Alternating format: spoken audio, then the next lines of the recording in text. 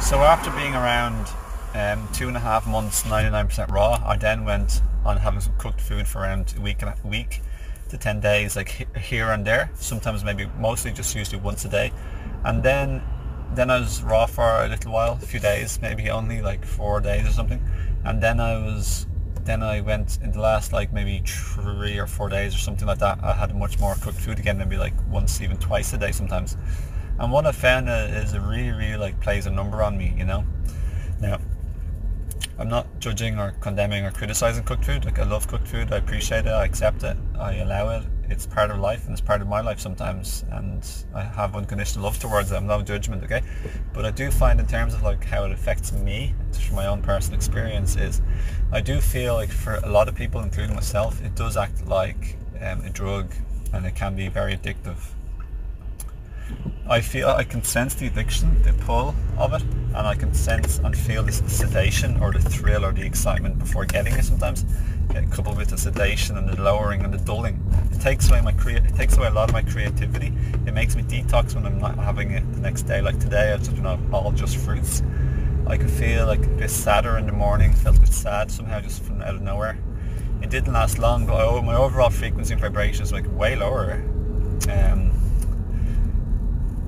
feel more like less happy, less bubbly, less of a great dad, like less of a great parent, less of a happy, great partner. I feel like I'm much more likely. I don't usually express it because I'm aware of it, but I can feel the crankiness or the, the grumpiness the, the, within me, like you know. And I can like be a little bit like, grouchy, but like I said, usually I just keep, I just feel it instead of express it unconsciously on those around me.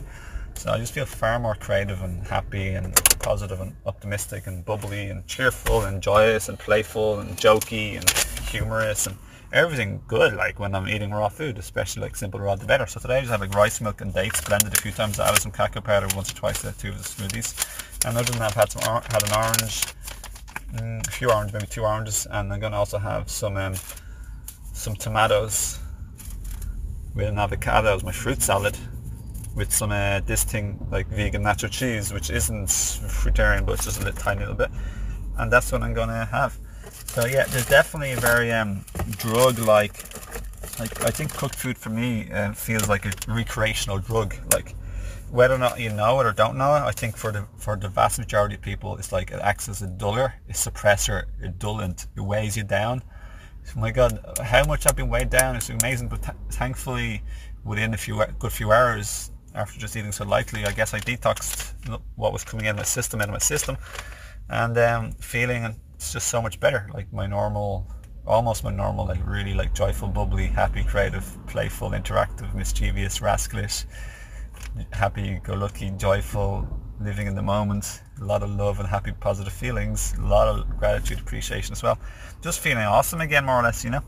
So just remember this the mind, sorry, the emotions and the body are connected. Like what we emotions live in the body, so they, they situate in the body. So if we feel poorly physically or great physically, it'll result in either feeling like poorly emotionally or very good physically.